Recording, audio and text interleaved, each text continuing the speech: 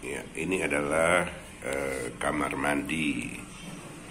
Ya, kamar mandi di sel kamar 19. Dari kamar mandi ini kita coba lihat. Nah, ini ruangan. Ya, langsung dari tempat tidur di sini, tempat ngobrol, tempat kumpul-kumpul dan sekaligus tempat untuk makan. Nah, ini ada kota, kota apa itu mie sedap dan kota air mineral. Ada sendal, ya, ada ini ember biasanya untuk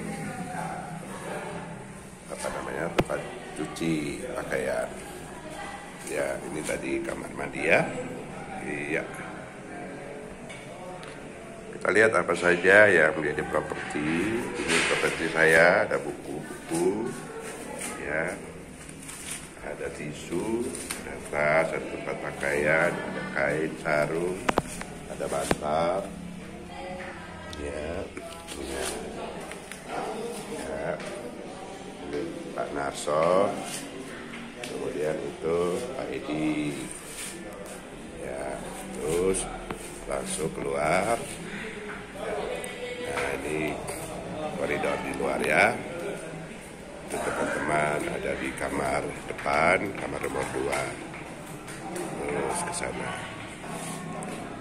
Ya, ini eh, sedikit informasi ada ini apa namanya? Ada jendela di atas untuk peri-peri masuk angin, masuk udara.